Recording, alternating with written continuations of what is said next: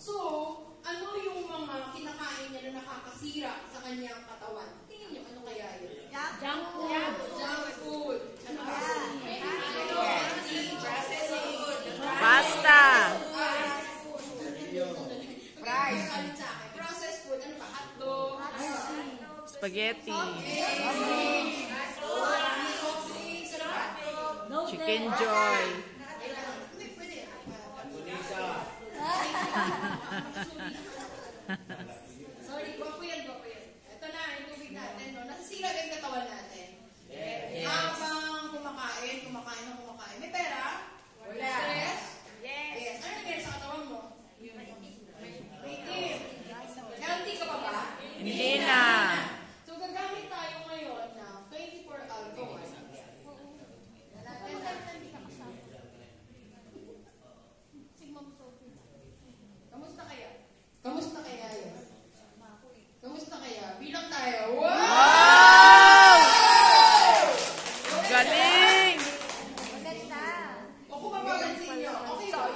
Yes! Oh, ang tanong ngayon, may energy ka?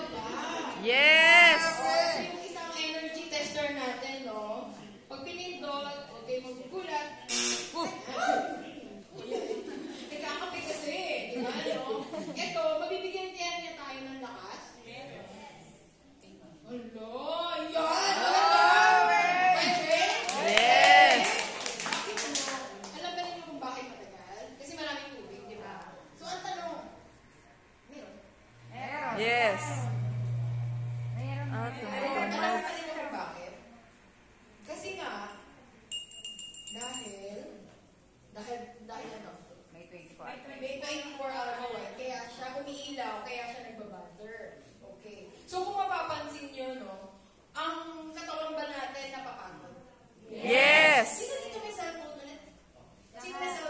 lahat. Wow.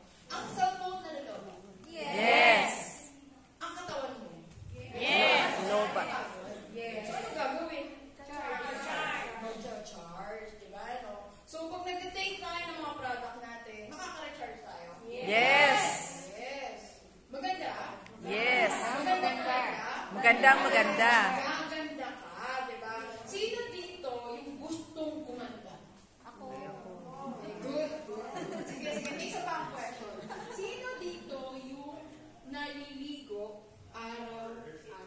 siempre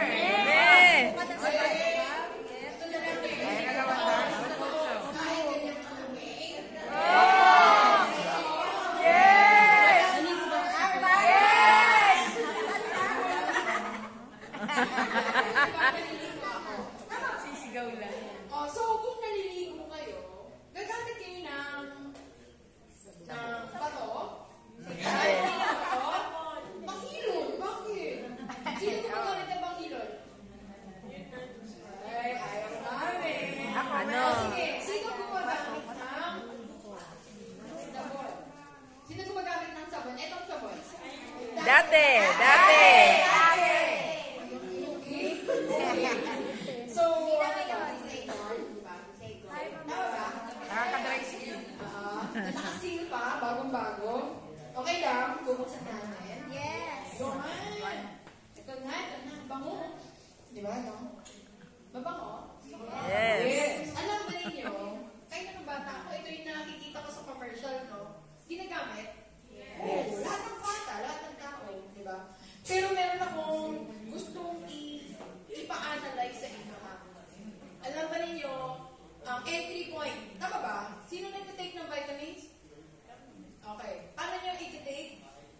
30 minutes bago... Oral. Ininom. Okay. Paano pa yung ibang papasok sa katawan? Meaning, pwedeng inumin para pumasok. Alam ka na na pwedeng hapusin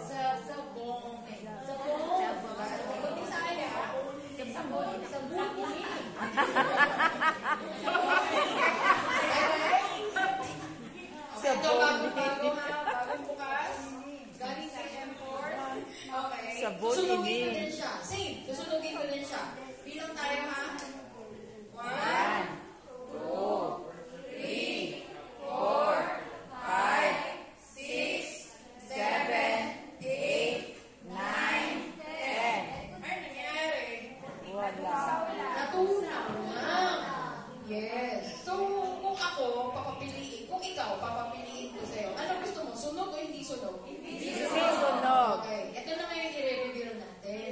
Yung nasunog kasi, yun yung chemical. So, kamusta ang balat mo kapag pumasok ang chemical? Kawawa. Di ba? So, kapag may sugat ka, pag chemical ang pumasok, kamusta? May infection. mas lalala, di ba? Kaya ang 24 ever sabon ay maganda sa sugat, Yes. sa dry skin, sa mga sensitive skin, sa baby pwede. Okay, yes, pwede siya. Sa mukha, pwede. Sino dito ang, ano, may kilalang makapal ang mukha? okay, papadalin mo para lumabas ang mukha. Okay? Gagamitin mo sa mukha is ilang minute, ilang ilang seconds? 10. 10. 10. 10 seconds lang. Meaning, pag nag, ano ba, kunyari, binasa ko to, di ba binasa ko? Okay, basa na rin yung mukha mo, di ba nag-tap-tap ka, basa na. I-rub mo yung sabon, di ba magbabubble siya? Pag nag-bubbles, yun yung i-ano mo sa skin mo, bilang ka, paakyat. One, two, upward, huwag pababa kasi magre-wrinkle ka, pataas. Huwag ganun na. Sino na gaganyan ng sabon?